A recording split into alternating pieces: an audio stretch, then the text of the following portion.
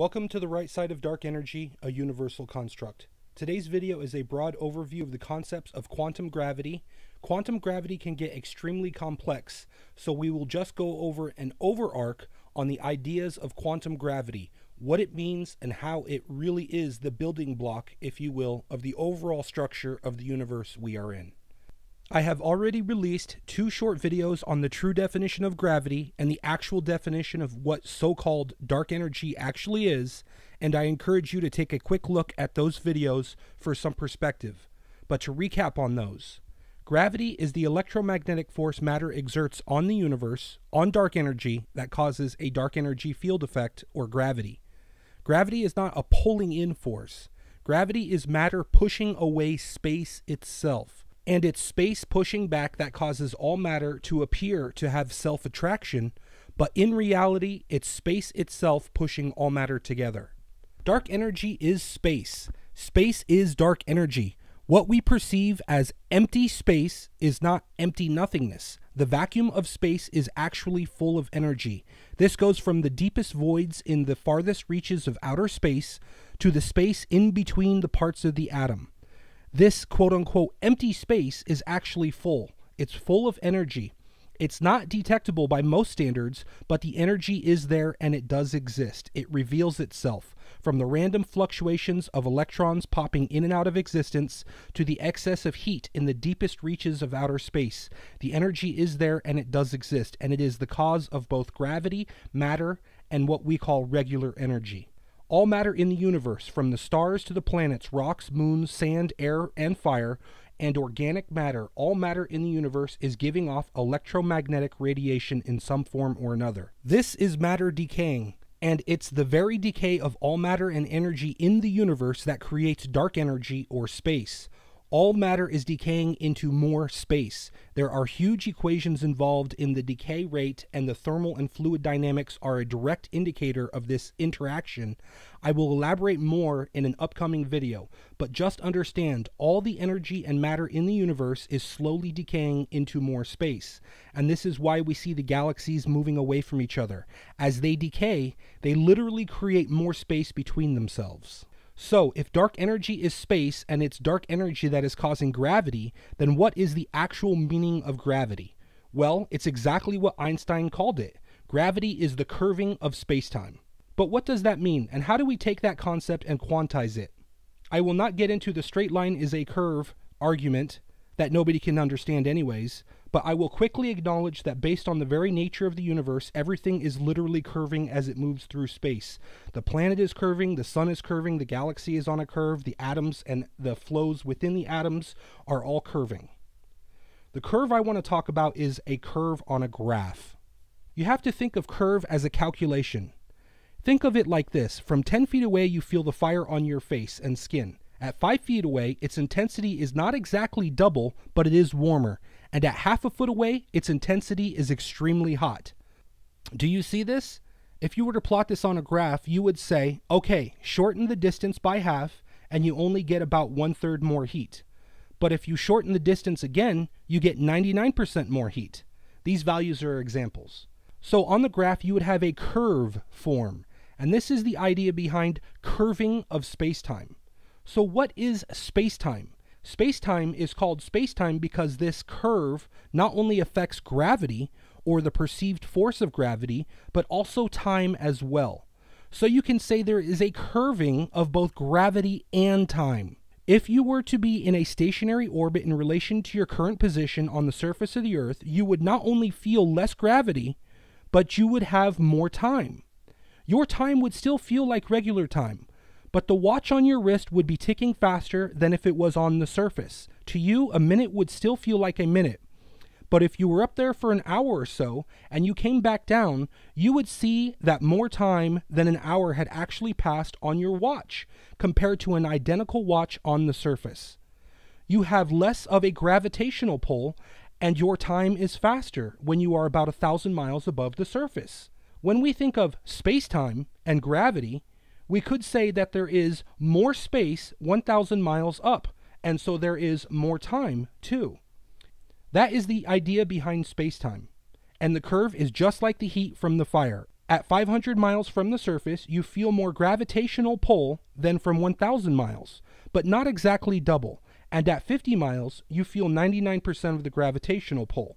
So, if space and time are tied to each other, again, space or space time is not empty nothingness. Space is dark energy. So, if you were to say at 1,000 miles above the surface you have more space time, what you are actually saying is at 1,000 miles above the surface, you have more dark energy. So, what is gravity? Gravity is the electromagnetic energy that matter exerts on the universe, on dark energy, that causes a dark energy field effect or gravity. What this means is that matter is pushing space time or dark energy away from itself. And it's this force that has a curve to it. So, at 1,000 miles above the Earth, the pushing force from Earth is only so strong. And at 500 miles, it gets stronger, but not twice as strong. And at 50 miles, the pushing force of Earth is basically full strength. And so you basically feel the full effect of gravity as if you were on the surface. Now, I want to make a quick note here, and I will elaborate more on this in upcoming videos, but time is the interaction of matter and energy and space or dark energy. So the more space or space time, which is actually dark energy, the more time. So that's why when you are 1,000 miles above the surface, you have more time because space and dark energy are the same thing. When you have more space, you have more time, hence space time. If gravity is matter pushing away space time or dark energy, and it's dark energy pushing back against matter, you can say the more dark energy or space time, the more time, and the less dark energy or space time, the less time. So if you are near a black hole, there will be a lot of quote unquote gravity. That would mean that the black hole is actually pushing a lot of space time or dark energy away from itself. And so there will be less tick rate around the black hole, and so there will be less time. On the other hand, if you are in the deepest voids in outer space, there will be no major matter pushing away space time or dark energy, and therefore there will be more tick rate, and so there will be more time. Time is the interaction of energy or matter and dark energy or space. More space or dark energy interacting with matter equals more time. So, how do we quantize gravity? We quantize gravity by dividing it into 10, because that is what the universe is doing. The universe is actually a multidimensional multiverse, meaning each universe within this cascading multiverse has its own self contained dimensions. Anyways, I'm not going to go crazy trying to explain this in great detail right here, right now. But imagine every black hole, especially the supermassive black holes, imagine they lead to their own dimension, their own universe. Their weight has become too large for this universe or this dimension. They have fallen or ascended into their own new universe. So they have their own version of the Big Bang, and all the matter and energy within them decompresses like a balloon. Energy becomes matter, and dark energy becomes space. A rapid hierarchy of pressure zones forms. This is based on the actual structure of dark energy, mathematics, and geometry, which I will elaborate on more in other videos. But for now, imagine the black hole leads to its own universe, and that universe divides its dark energy into 10 distinct pressure gradients. So imagine we are in a universe that is a black hole in the universe above us. We had our Big Bang, and the universe went through what is traditionally called inflation, then solidification. When the universe solidified, this is the point where the 10 pressure zones equalized enough to actually form what you would call surface or surface area.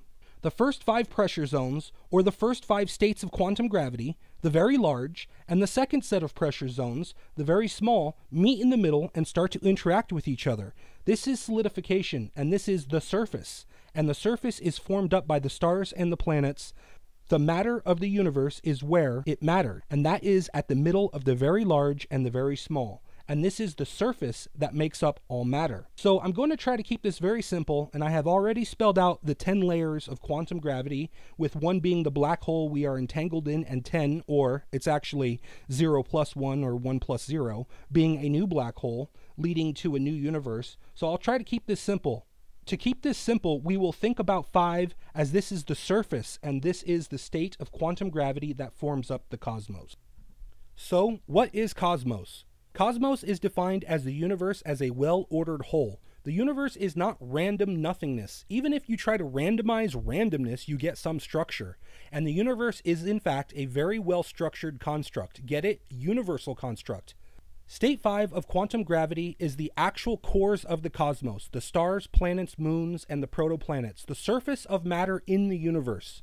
All matter in the universe is decaying back up the elemental chain from iron to hydrogen and then back into light itself. And light is literally electromagnetic energy, and eventually this electromagnetic energy becomes dark energy.